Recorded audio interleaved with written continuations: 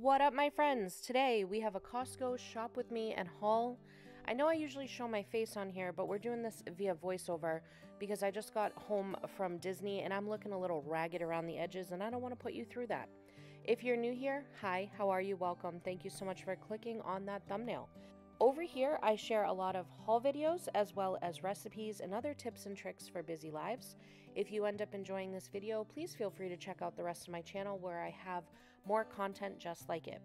Anyways, we're going to be taking a romantic stroll down the aisles of Costco together and see what they had out. The staff at Costco was nice enough to put the lotion I needed right by the front of the store, so I really appreciated that. And they had even put it on sale for me, which I just thought was such a sweet gesture. I had two missions in the aisles towards the front of the store. One was to find a spill proof cup set that one of my friends had recommended, and I found that pretty quickly. $14.99 for the set, and they had a variety of different colors. And the other objective that I had on this mission today was to find the new Disney and Bluey snack cup set. So I did find those. We have had these in the past and absolutely love them. So I'm excited they came out with new characters.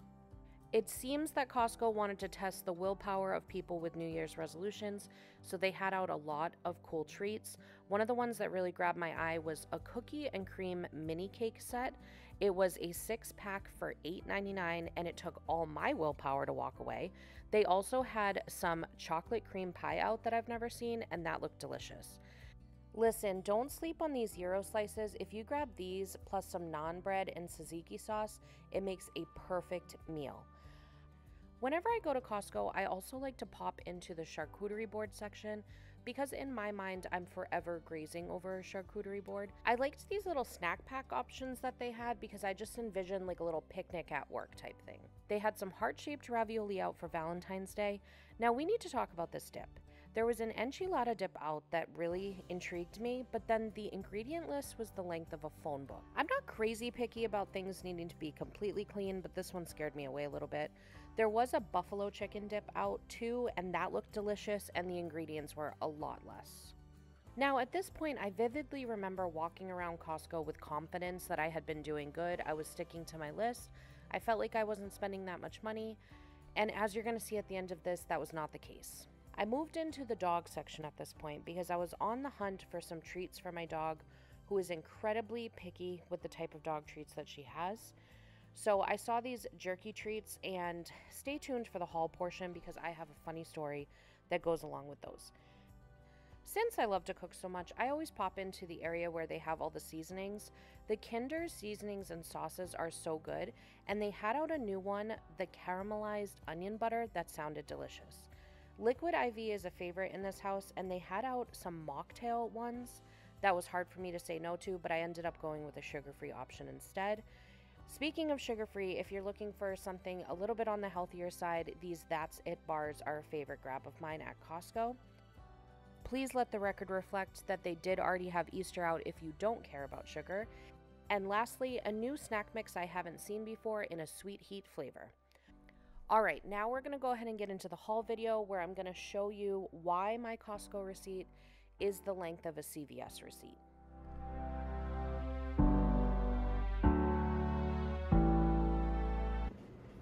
You guys, I think I'm in a state of shock still from what just went down with my checking account in Costco.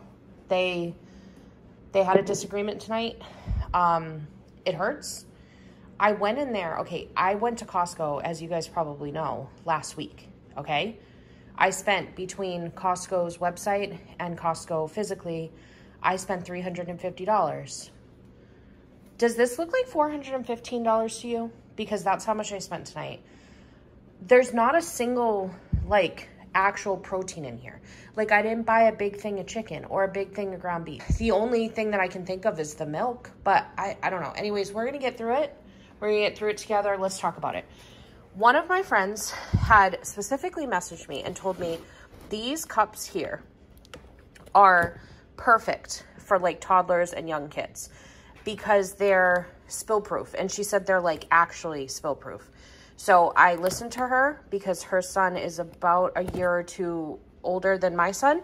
So she's a veteran as far as I'm concerned. And I'm just going to listen to what she has to say. Okay. I also ran out of lotion, which ended up working out in my favor because tonight this was $6 off, which that's a great deal, okay? In order to try and save money, I spent $20 on this big bag of jerky treats for my dog. We have been buying these soup bones from Target since like 1971 and it's 23 ounces and this is $11 for the bag. This is a three pound bag for only $20. So girl math said that that was a good buy. We'll see because she's very picky about treats. It was so funny. I'm pretty particular when it comes to what I give my dog because she does have seizures and I don't I don't like all of those like fillers, right? So I was like in Costco and I'm like searching this bag and I'm like, they don't have the ingredients anywhere on it because I'm used to an ingredient list that looks like this. You know what I mean? Like, and this, if you've seen dog treats, this is actually a short list of items.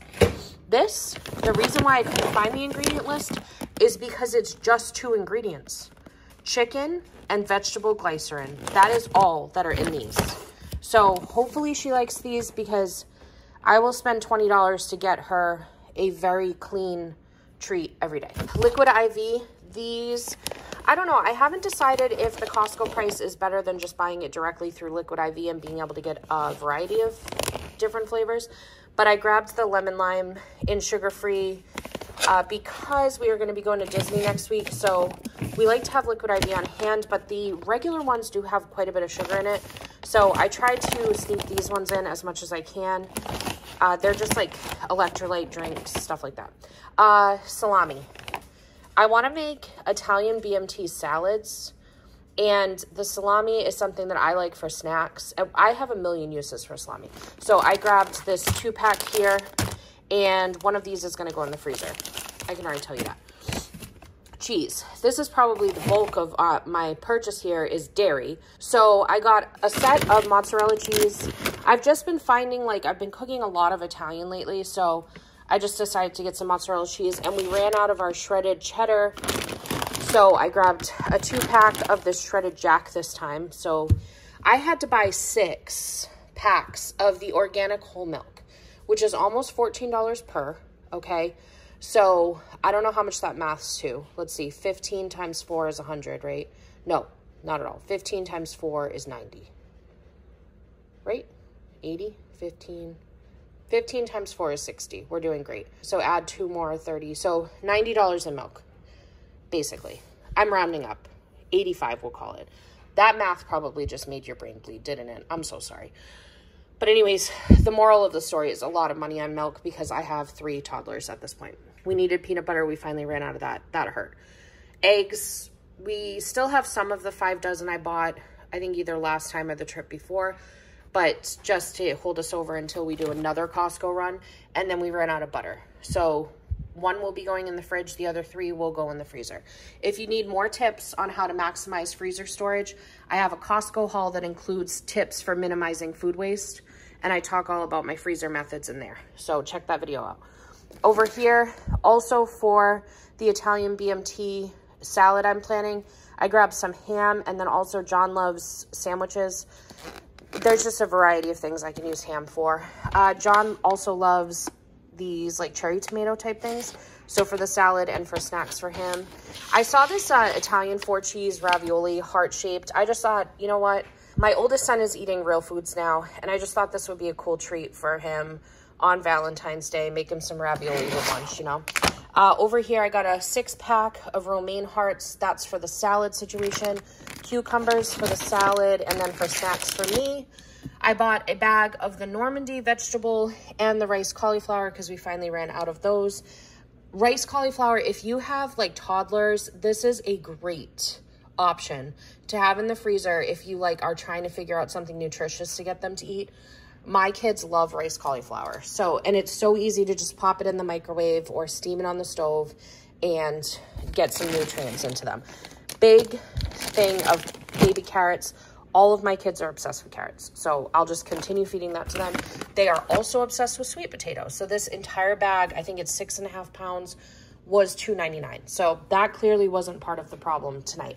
These That's It mini fruit bars, I love these. They literally have two ingredients per. So they have just fruit. I don't know how they do it. It's going to be some type of sorcery, but that's none of my business. So I grabbed this. This was on sale. I thought that said 2023, and I was like, no wonder it was on sale. It's 2025. Grabbed this. This was on sale for a really good price. So that's that. Uh, fruit and veggie pouches. I only grab these when I know we're going to Disney soon because I like to have them at the parks if we're trying to like hold them over until the next meal or something. These are a good snack option. And the ingredients in these are relatively clean. So you get, oh, they are, they've got a lot of organic ingredients in it. You know, it's basically what you do with your own canning. And then last, but certainly not least, these snack cup things are perfect for Disney parks. This top section, we have these like toddler crackers. It fits perfectly in here, so you don't have to worry about them getting smushed and broken and all of that stuff. And then we keep like their version of like cereal snack type things in here, or you could do like those fake toddler cheese puff type things. They're just perfect. These all spin off. They're easy to wash. They go right in the dishwasher. And we already have a Star Wars set, but when I saw they came out with Disney, I grabbed that. My best friend, whoops, good. My best friend asked me to grab her set too, so one of these is for her. And then they also, if you're a Bluey fan, we don't really watch Bluey over here, not for any reason except that my kids just love Miss Rachel and pretty much nothing else. So my best friend asked me to grab a Bluey set for her, so I grabbed this. I think that's just adorable. Like, if I knew anything about Bluey, I would be all for this.